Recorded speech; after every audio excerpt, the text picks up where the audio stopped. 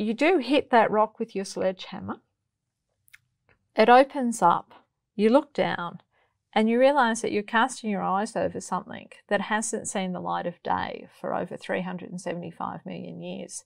And you're the first person to actually see that. And then when it's a new species or a new specimen, um, it's even more exciting